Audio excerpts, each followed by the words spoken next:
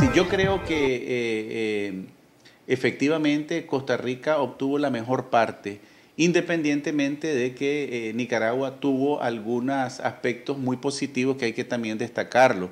yo tal vez voy a la parte que me parece más positiva. En primer lugar, logra el reconocimiento de que puede dragar el río San Juan, mantenerlo libre en su flujo y desembarazada la corriente y la salida al mar. Además de eso, se le, se le reconoce eh, el tema, en el tema de la carretera que eh, tiene que haber un estudio de impacto ambiental antes de su construcción. Es más, la Corte dice que Nicaragua debe participar en ese estudio de impacto ambiental y oírse su opinión. Eh, yo creo que eso, eso es sumamente importante destacarlo. Pero más que eso, también me parece esencial indicar que la Corte Internacional de Justicia eh, en el mapa que trae la sentencia, ¿verdad? Termina básicamente con una pretensión que tenía Costa Rica. Costa Rica había pretendido en, la, en, las deliberaciones ante la Corte mover el punto de inicio de la frontera de Punta de Castilla a un sector más al oeste. El, el tema de fondo es que Nicaragua dragó una parte que estaba en disputa en el tema del caño, que conecta la laguna de Harbor Head con el río San Juan, lo que Nicaragua hizo fue una limpieza.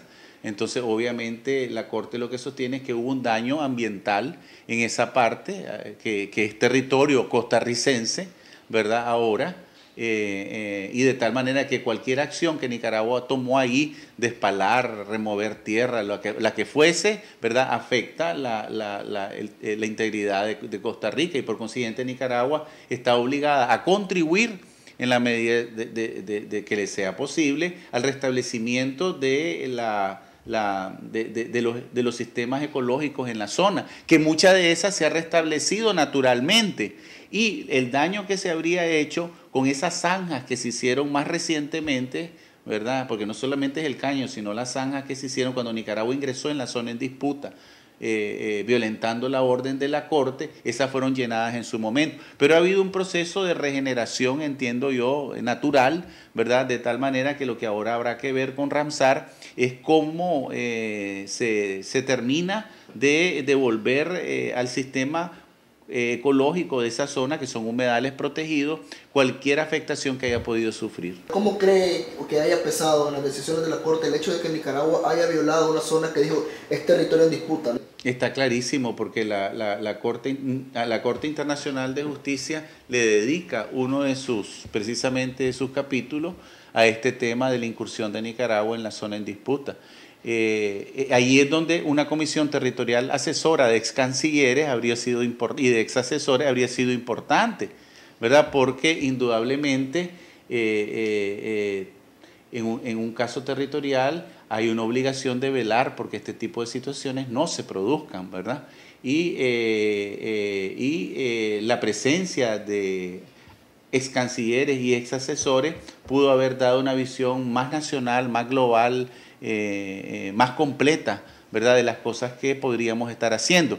Ahora, pero por otro lado, tal vez también es interesante destacar que eh, muchas de las cosas que sucedieron, como lo puso de vista la entrevista en confidencial que tuve el placer de tener con ustedes, acontecieron. Yo dije que el fallo de la Corte sobre las carreteras no iba a tener la profundidad que hubiésemos querido porque Nicaragua no logró probar este, el, impacto en la sedimentación de la construcción de la carretera, que es literalmente lo que dijo la Corte.